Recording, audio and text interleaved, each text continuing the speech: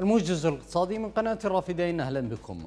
كشفت مجلة Global Finance الأمريكية أن التضخم في العراق لشهر تشرين الأول الماضي عام 2021 ارتفع ليبلغ 6.4% مقارنة بنفس الشهر من العام الماضي 2020 الذي بلغ 0.6%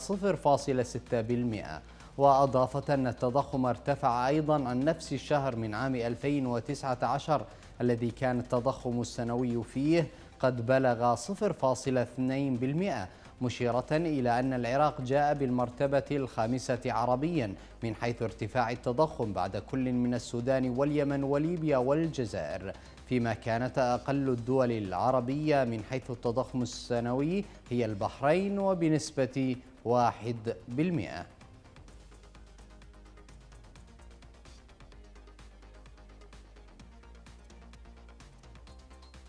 أعلنت غرفة التجارة الإيرانية أن صادرات إيران إلى العراق بلغت أكثر من ستة مليارات دولار خلال ثمانية أشهر وأشارت الغرفة إلى تفش أن تفشي فيروس كورونا أثر على كمية الصادرات الإيرانية إلى العراق لا سيما في عام 2020 موضحة أنه تم تصدير أكثر من خمسة ملايين طن من السلع عبر إيران إلى العراق.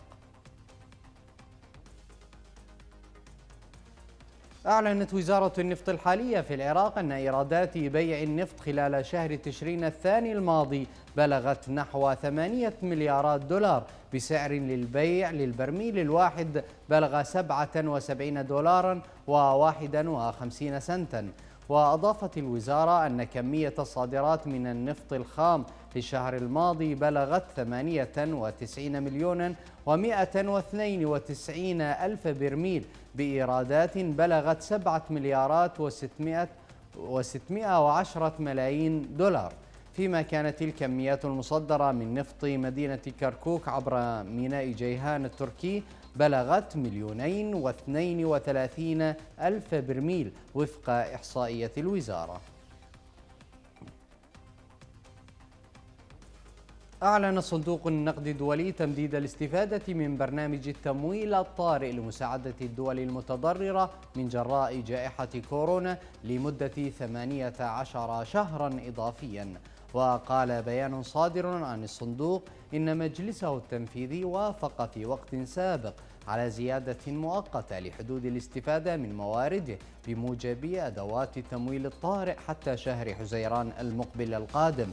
كما وافق الصندوق على خفض جميع حدود الاستفادة الأخرى التي تمت زيادتها مؤقتا إلى مستويات ما قبل الجائحة اعتبارا من الأول من كانون الثاني المقبل. أشار موقع CoinDesk إلى أن عملة البيتكوين وصلت لأعلى مستوى لها منذ الثالث عشر من الشهر الجاري بقيمة تجاوزت الخمسين ألف دولار وسط قفزات للأسهم الأمريكية الرئيسة نتيجة تحسن معنويات المستهلكين في الولايات المتحدة في الشهر الجاري.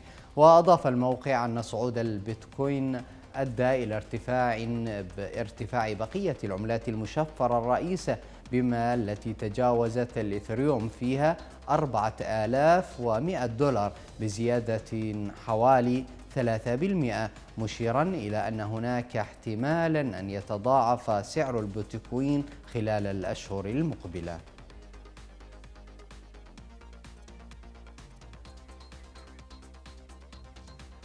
ختام الموجز إلى اللقاء.